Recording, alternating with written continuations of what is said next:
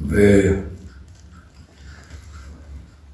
którzy pospolitą rzeczą władacie, a ludzką sprawiedliwość w ręku trzymacie, wy, mówię, którym ludzi paść poruczono i zwierzchności nad stadem Bożym zwierzono, miejcie to przed oczyma zawsze swoimi, żeście miejsca zasiedli Boże na ziemi.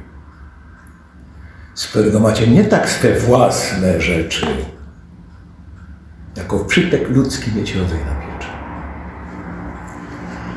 A wam więc nad mniejszymi zwierzchności jest dana, ale i sami macie nad sobą Pana, któremu kiedyżkolwiek z spraw swych uczynić poczet macie. Trudnoż tam krzywemu wynić. Nie bierze ten Pan darów, ani się pyta, jeśli kto chłop, czyli się grofem poczyta, w siermiędzy li go widzi, w złotych li głowach, jeśli najmniej przewinił, być mu w okowach. Więc ja podobno z mniejszym niebezpieczeństwem grzeszę, bo sam się tracę swym przeteczeństwem.